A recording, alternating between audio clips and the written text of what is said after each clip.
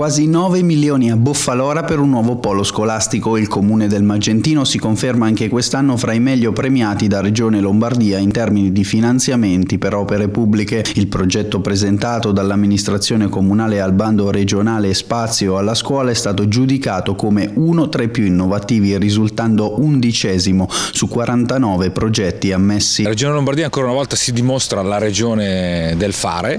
eh, ci sono stati diversi finanziamenti in questo questi ultimi anni per, per i comuni, a partire eh, da quello che abbiamo fatto come piano Lombardia, quindi investendo sugli enti che sono più vicini ai cittadini, quindi dando risorse eh, a investimento per, per, i comuni e eh, questo bando ne è la dimostrazione, questo è un bando per le scuole che sono gli edifici eh, secondo noi che sono anche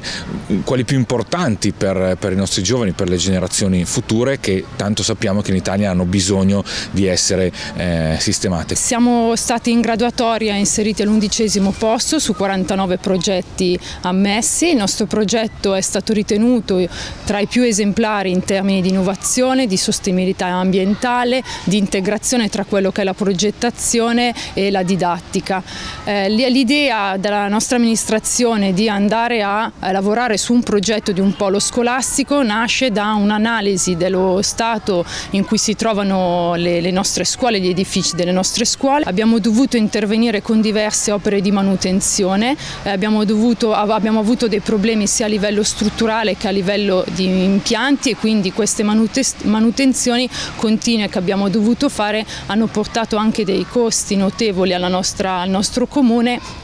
creando anche dei disagi a quello che è l'attività didattica attuale. Come, come, consigliere io sono anche eh, ovviamente molto contento perché anche Boffalora è rientrata in, eh, in, questo, in questo bando in graduatoria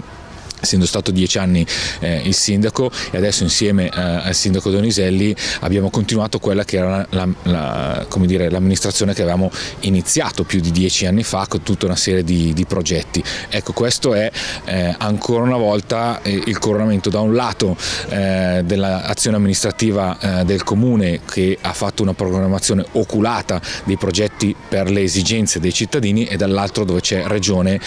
Lombardia che con il Presidente Fontana Fontana ci ha dato una grandissima mano in questi anni.